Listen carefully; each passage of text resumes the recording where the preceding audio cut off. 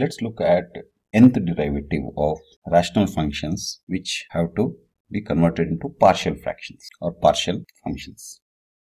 So let's say for example y is equal to 1 by x plus 2 times x minus 1. Now th there is no standard uh, nth derivative which fits this pattern. So let's split this into partial fractions. So that would be a by x plus 2 plus b by x minus 1. 1 is equal to a times x minus 1 plus b times x plus 2. Now let's make a disappear by making x equal to 1. We get 0 plus b 1 plus 2. So 1 is equal to 3b. So b is equal to 1 by, now if we make x equal to minus 2, then what happens? 1 is equal to a minus 2 minus 1 plus b times minus 2 plus 2. So this becomes 1 is equal to minus 3a plus 0. So a equal to minus 1 by 3. So our y becomes minus 1 by 3 times x plus 2 plus 1 by 3 times x minus 1. Now this is a pattern we recognize. Yes? Remember this? This is a standard so nth derivative of 1 by ax plus b is equal to what? Minus 1 to the power of n times n factorial to the power of a to the power of n divided by ax plus b to the power of n plus 1. Okay, here it is 1 by ax plus b, 3x plus 6. So which means now it becomes very easy for us to find the nth derivative. So yn would be what? 1 by 3 is common to both of them. So let's take it out or let's simplify this a little bit too. And then we'll find the derivative. So minus 1 by x plus 2 plus 1 by x minus 1. So now nth derivative would be 1 by 3 nth derivative of 1 by 1. Now let's apply the standard pattern. Minus 1 to the power of n times n factorial. Yes. a to the power of n. a is 1 divided by x minus 1.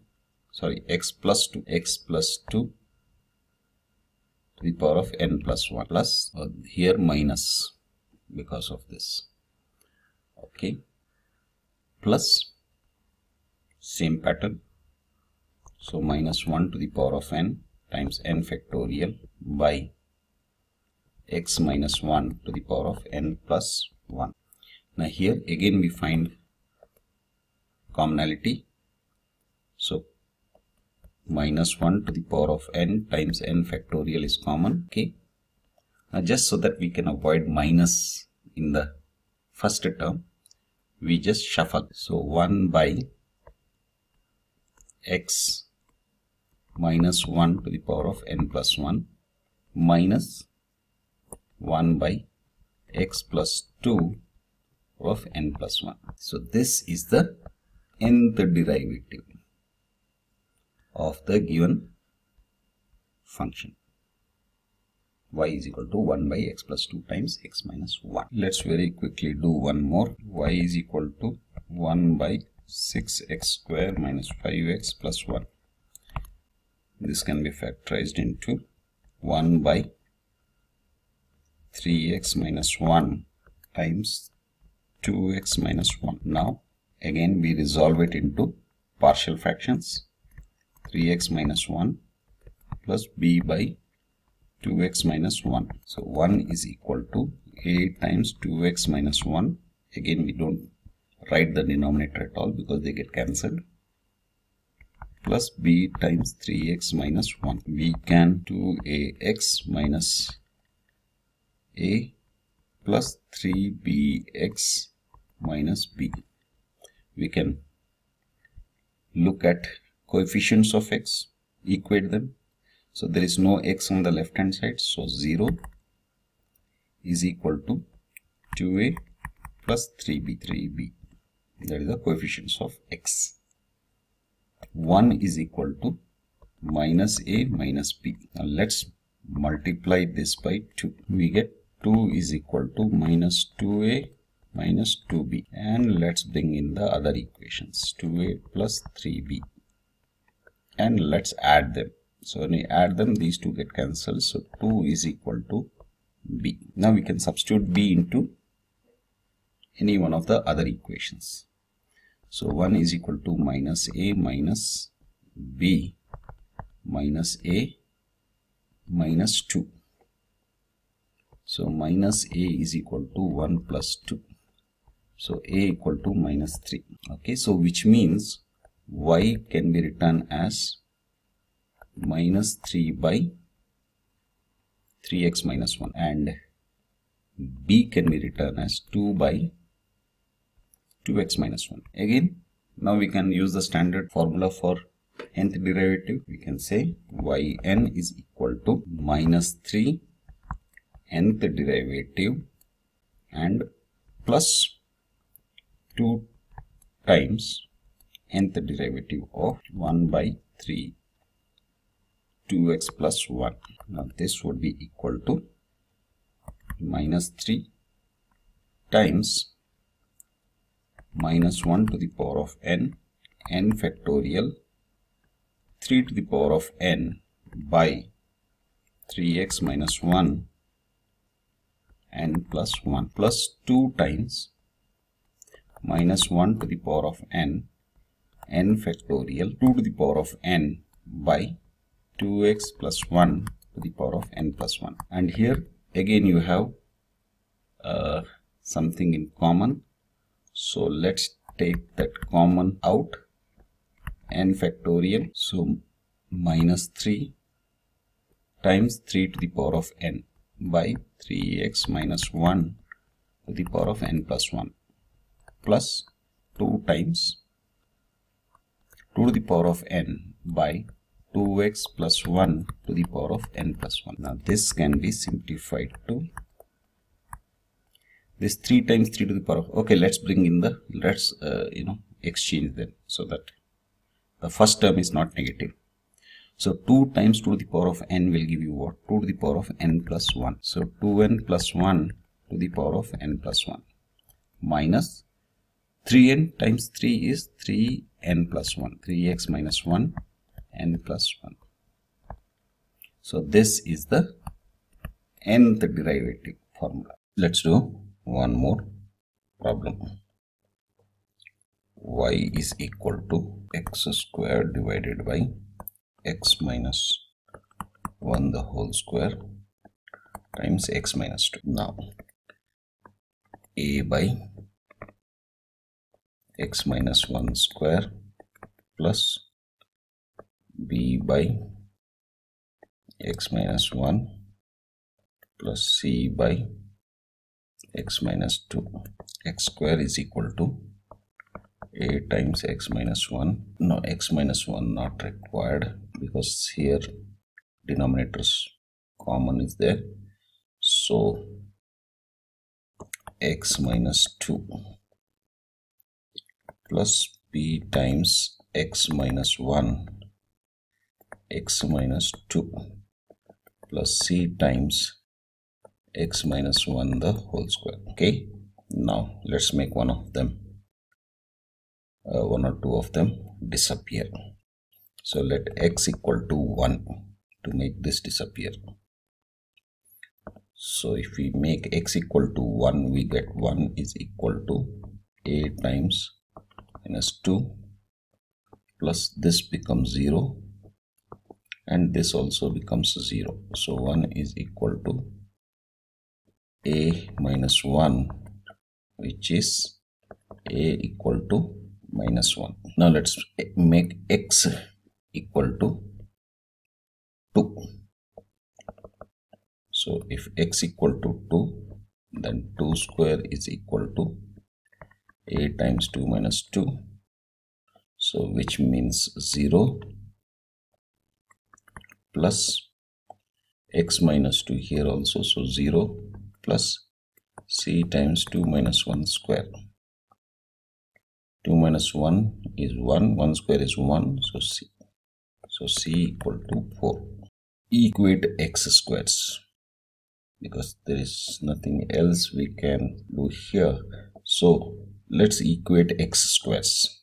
Here x square so equating x squares. What do we get here? We don't have x. Here we have x square. So if we just look at x squares we have b x square and we will have c x square. b x square c x square. Okay. That would be 1 is equal to b plus c. Now 1 is equal to b plus 4 we already have found it. So b is equal to 1 minus 4 which is minus 3 minus 1 by x minus 1 the whole square. X minus 1 the whole square. Then b minus 3 by x minus 1 then c. Okay so this is our now to avoid negative in the first term we can rearrange this. X minus 2 minus 1 by so 1 the whole square minus 3 by minus 1 okay now that we have it in this form now we have a standard derivative with this pattern. So we can write the nth derivative as 4 times nth derivative of 1 minus x minus 2 minus nth derivative of 1 minus x minus 1 the whole square minus 3 times nth derivative of 1 by x minus 1. Now the standard pattern is nth derivative of 1 by ax plus b to the power of m is equal to minus 1 to the power of n m plus n minus 1 factorial m minus 1 factorial times ax plus b m plus n a to the power of n. This we have done the derivation in previous sessions. So now we apply this to our problem here. So yn is equal to okay, 4 times minus 1 to the power of n. m plus n m is the exponent of this which is 1 plus n minus 1 factorial. A is the coefficient of x so which is 1 to the power of n divided by 1 minus 1 factorial ax now a is 1 so x minus 2 the power of m which is 1 m is 1 plus n minus 3 times minus 1 to the power of n now here m is 2 the exponent. So 2 plus n minus 1 factorial coefficient of x is 1 1 1 to the power of n divided by m is 2 so 2 minus 1 factorial ax plus b is x minus 1 to the power of 2 that is m plus n minus 3 times 1 by x minus 1 so same as this. So minus 1 to the power of n 1 plus n minus 1 to the factorial 1 to the power of n. By m is again 1 so 1 minus 1 factorial x minus 1 x minus 1 to the power of m.